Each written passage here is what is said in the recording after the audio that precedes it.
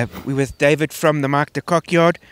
Three runners on Saturday, David. You got uh, Destiny of Fire, Si Anemone, and Bonete. Let's start with Destiny of Fire, race one, daughter of Master of My Fate. Yes, uh, Mr. Johnny, you're quite right. We got uh, three runners on Saturday. Destiny of Fire is a well bred. I like it, the filly. She type of filly is always short, the progressing and the track.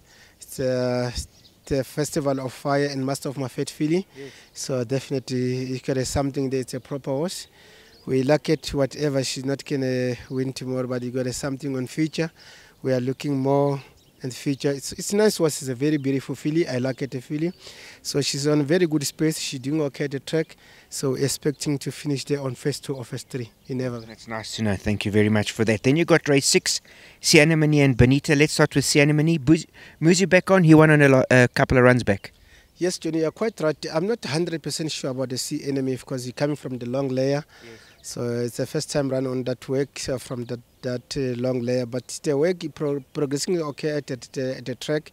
I'm happy with work. But so far for me, uh, I like to go with Bonnet uh, because he running very good race last time, and then he still do the same at the track. So I'm expecting Bonnet to finish closer, and then also Si Anemone maybe will be there on the field. Yeah, I like Bonette where, where um, I know we changed tactics last time, dropped it in. Now uh, 50 kilos on her back with the Prentice Kachedi.